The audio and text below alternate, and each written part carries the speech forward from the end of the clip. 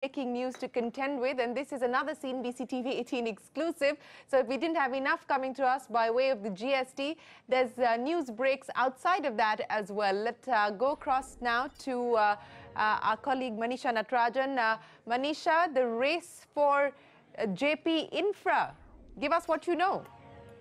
Uh, absolutely, Shireen. In fact, uh, we were wondering who's going to take such a debt-ridden company with so many buyers baying for its blood, but it seems 18 bids have already come in, express, uh, initial expressions of interest, and some of the names are really big ones, and that's the interesting part. There's Tata Realty, there's Lodha, there's L&T, the Essel Group, IDFC, there's also Kotak Infra, Sare Homes, and a couple of asset reconstruction companies have also bid for it. Uh, the proposal which was actually outlined by IRP was that you, the company which bids has to have 1,000 crore net worth and it should be able to plow in 2,000 crores of rupees to complete the 25,000 apartments which are incomplete. So seems that the list is pretty reasonable. Some of the big players have already expressed their interest mm. to take over JP Infra and uh, there are more who are interested. So as per the insolvency law, even though 7th November yeah. was the last date, they could actually accept some more even after today. And the process, even if the bids come right up till uh, the 10th of January, which is just 30 days before the closure of 180 days, the bids will be accepted. This, okay. The engagement will start now, Shireen, and the specifics will come in. These are EOIs, we have to remember. So now each of these companies will have to give in yeah. the specifics of how they're money and how will they complete that. Okay, uh, so 18 suitors have uh, put in their expressions of interest. And Manisha, very quickly for the benefit of our viewers, uh, just explain to us what the process is because an IRP uh, is going to be looking into this matter. I believe that there was a meeting of creditors today as well. So where do we go from here? How does this all play out? So now, uh, Shireen, as I understand, uh, IRP will examine all of these expressions of interest. They will ask each of these companies to give more details, engage with them, give specifics and a clear plan on how much will the company bring in, where will that 2,000 crore rupees come in. After they have got that entire list, they will go back to the court uh, to run them through the list of who the suitors are and at some point, I believe the strongest bidder will be examined. And of course, uh, you know, the 180 days get over on 10th February.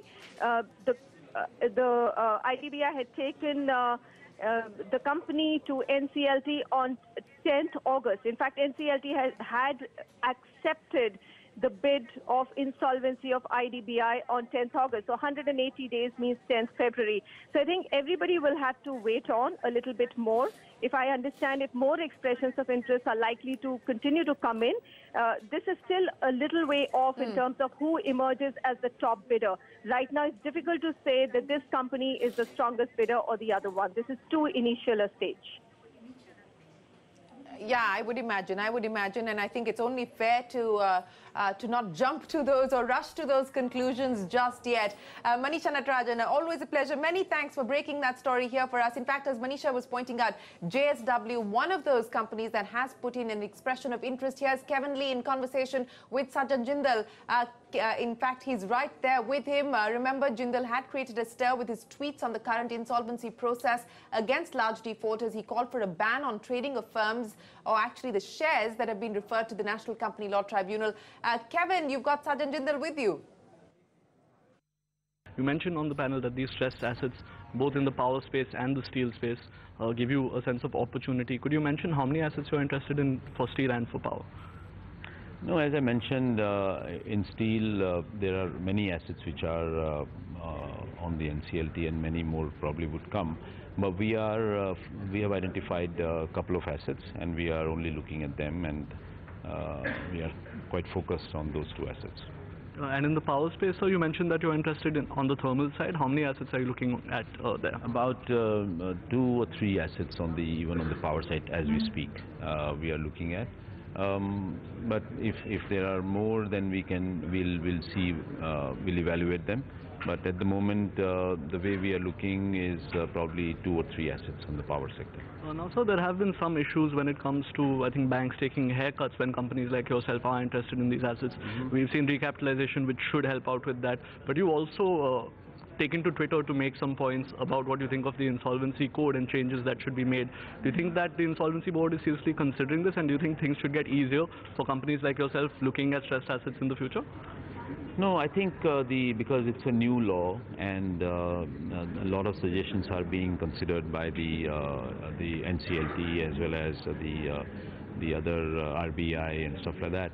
Because uh, what is very important is that there has to be a transparent and a a- a standard format for, for bidding for everybody for every asset. It should not be uh, different for different situations and different plants. Then it gets very difficult, and the banks uh, in the in the end will lose. Uh, they won't get the right value. So it's it's always good. I mean, we, we we don't need to reinvent the wheel. We have to follow what's happening globally, and uh, just uh, just just just follow that and and uh, follow that that process. Also, specifically with bank recapitalization coming in and PSBs now will have uh, the opportunity to take more haircuts or rather the space to take more haircuts. Do you think this should accelerate the process of companies like yourself acquiring stressed assets? No, I think uh, the uh, the banks are uh, very keen to uh, push through this process and uh, to settle these uh, these uh, cases where uh, you know there is NPA and there is uh, big problems. So um, uh, banks are very keen. So I don't see any reason for for these this process to be delayed. By when do you think we can start seeing acquisitions coming through? Because we've seen, of course, a lot of expressions of interest and there is a, a procedure to follow. But by when do you think we'll actually see concrete deals happening? So I also don't know because we are all uh, in the same boat. But I think uh, over the next six months we should see some deals uh, going through. Well, that is Sajjan Jindal there of JSW, one of